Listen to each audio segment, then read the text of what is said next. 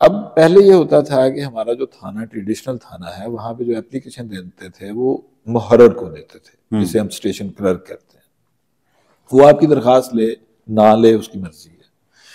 आपको याद होगा कि आज से तीस साल पहले वन फाइव आया। बिल्कुल। वन फाइव से पहले कोई सिस्टम नहीं था कि आप पुलिस को किसी और तरीके से भी एक्सेस कर सकें एक्सेसिबिलिटी कोई नहीं ठीक है। लेकिन उसके साथ वो भी एक टेक्नोलॉजी उस वक्त फ़ोन ही होता था इंटरनेट नहीं था कंप्यूटर नहीं था ईमेल नहीं थी कुछ भी नहीं था। उसके बाद एक्सेसिबिलिटी के बहुत सारे और तरीके आ गए वन फाइव के अलावा वन सेवन एट सेवन है हम्म। हमारे टोल फ्री नंबर्स हैं। अभी आज से कोई आठ साल पहले एक कंप्लेंट मैनेजमेंट सिस्टम का जो हमारा सॉफ्टवेयर आया और हमने एक पूरा सिस्टम हर पुलिस स्टेशन में बनाया जहाँ जिनको हम फ्रंट डेस्क कहते हैं। कि कोई भी बंदा जाके उसने ना एस एच ओ से मिलना है ना मुहर्र से मिलना है उसने जाके अपनी दरखास्त उसको देनी है वो टैग होती है क्योंकि वो ऑनलाइन सिस्टम है। वो पूरे पंजाब की जो कंप्लेंट्स हैं उसका एक सॉफ्टवेयर है। उसने टैग लेना है और उसने चले जाना है। मीनिंग देर बाय कि अब वो सिस्टम इस तरह का डेवलप हो गया और ये जो हमने थानों की हालत बेहतर की है वो भी उसी स्पेशल इनिशिएटिव पुलिस स्टेशन का कॉन्सेप्ट का हिस्सा है कि ना सिर्फ़ ये है कि सिस्टम मौजूद है बल्कि उसके बैठने की उसको रिसीव करने की भी एक पैराफर्नेलिया मौजूद है। मतलब उसको लगे कि मैं हाँ, किसी ती, सेफ़ तीसरा इसका एस्पेक्ट रवैया है। तो रवैया तो ज़ाहिर है ह्यूमन रवैया इसमें एक चीज़ बड़ी इंपॉर्टेंट है समझने वाली कि जो पुलिस है ना ये सोशल कंट्रोल करती है। सोसाइटी में यानी हमारा जो सबसे एडवांस सोसाइटी का जो इंस्टीट्यूशन है दैट इज़ रियासत। स्टेट बिल्कुल। अब स्टेट का काम ये है कि उसने कुछ आपसे लिबर्टीज लेनी है। आप आप उसके कुछ कवानीन के पाबंद हैं। और कुछ आपको फ्रीडम्स देने हैं।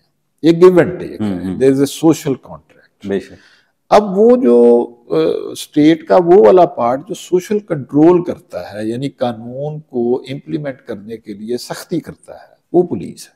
बेशक। और जो जैसे टोक टोकने वाला जैसे आप आम अल्फाज में कहें कि हम टोकते हैं कि भाई ये ना करो ये लाओ है, ये नहीं लाओ। वन वे की खिलाफ वर्जी ना करो। दिल तो बच्चा है ना वो तो कहेगा जी मैंने हर कुछ ही करना है। ऐसा ही।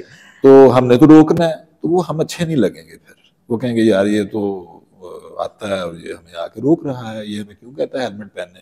अब मेरा जो ड्राइवर है उसने बेल्ट नहीं बांधनी होती। उसने बेल्ट को पीछे से गुजार के उसने उसमें वो कर दिया रहे। ताकि वो टू टू ना करे उसकी ठीक है?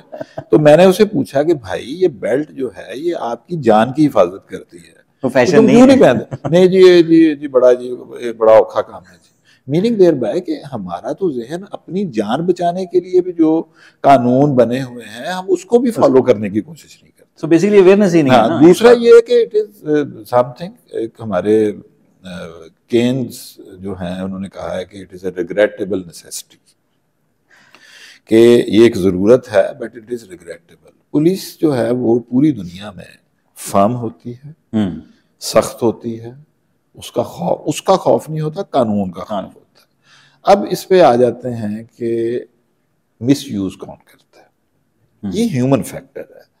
पावर आएगी तो उस पर मिस यूज़ होगा लेकिन जितना चेक और जितना सर्वेलेंस पुलिस डिपार्टमेंट पे है यानी ग्रेड 16 का जो अफसर है उसको ग्रेड 18 का अफसर नौकरी से निकाल सकता है। हम्म हम्म। पूरे पाकिस्तान में कोई और डिपार्टमेंट ऐसा नहीं है कि जिसमें ग्रेड 18 का अफसर ग्रेड 16 के अफसर को नौकरी से निकाल नहीं हाँ बिल्कुल सही। ग्रेड 20 का अफसर जो है वो ग्रेड 16 को निकाल सकता है नौकरी से। तो मीनिंग देर बाय कि इतना चेक इतनी सुपरवाइजरी पावर्स वो किसी और डिपार्टमेंट को नहीं दी गई सिर्फ़ पुलिस को दी गई हैं क्योंकि इसमें मिस यूज़ ऑफ़ अथॉरिटी का ज़्यादा अपॉर्चुनिटी और ज़्यादा स्पेस और रूम मौजूद होता है एग्जैक्टली exactly. तो बहरहाल इसमें आहिस्ता आहिस्ता it's part of social evolution और जैसे जैसे लोगों को अवेयरनेस भी आएगी वो हम भी बेहतर होते जाएँगे